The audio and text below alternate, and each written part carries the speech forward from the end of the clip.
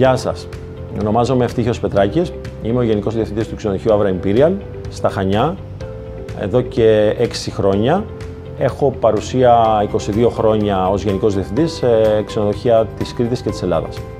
Είμαι υπεύθυνος για την καθημερινή ομαλή ε, λειτουργία του ξενοδοχείου, για τα ετήσια αποτελέσματα απολύσεων ε, εσόδων, εξόδων και κερδών ε, του ξενοδοχείου, οικονομικά αποτελέσματα δηλαδή, και για το στρατηγικό σχεδιασμό σε συνεργασία με την ιδιοκτησία του ξενοδοχείου.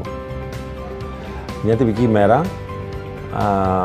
προϋποθέτει την επικοινωνία με τους προϊσταμένους όλων των τμήματων και σαφώς τη σύνδεση και την επικοινωνία με τους ιδιοκτήτες του ξενοδοχείου για την, στην προσπάθειά μας για βελτίωση καθημερινή των παρεχόμενων υπηρεσιών και της καλύτερης λειτουργίας του ξενοδοχείου.